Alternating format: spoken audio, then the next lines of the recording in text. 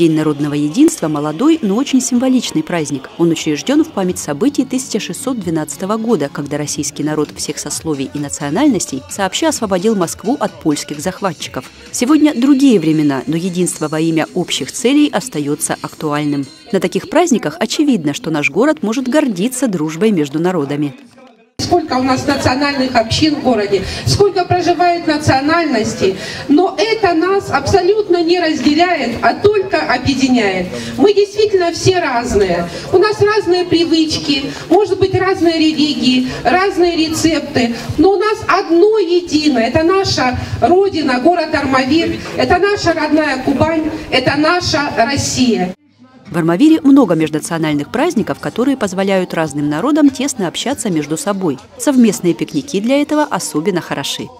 Все люди, которые находятся здесь, которые вместе кушают хлеб, которые вместе танцуют, празднуют, этих людей уже обмануть и настроить друг против друга невозможно.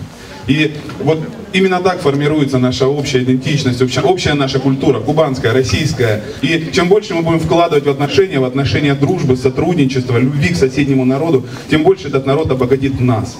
Главная часть праздника – кулинарный конкурс. Участники должны приготовить курицу, проявив максимум оригинальности. Другие блюда на выбор каждой общины. Среди них могут быть как национальные, так и международные. Казак Олег Колесников готовит шашлык. Он говорит, что это кушание нравится всем и допускает массу вариантов приготовления. По мнению Олега, мясная трапеза сближает людей. Для того, чтобы все были дружные, единые, друг друга ходили, блюда пробовали, радовались. И все было хорошо. Казаки также в походах жарили мясо, как и любой другой народ.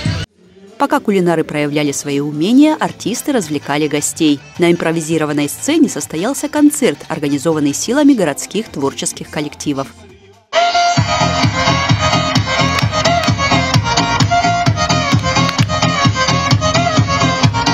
Конкурсные блюда нужно было не только умело приготовить, но и красиво презентовать. Жюри учитывало и вкусовые качества угощения, и оформление стола.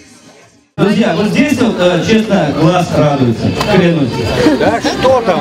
Рассказывайте, что у вас здесь и соленье, друзья, и сальцо, и отжичка, и э, разный соус, конечно же, мясо. Творческое сопровождение презентации тоже приветствовалось. Национальные общины подготовили маленькие представления, которые демонстрировали элементы культуры и обычаев.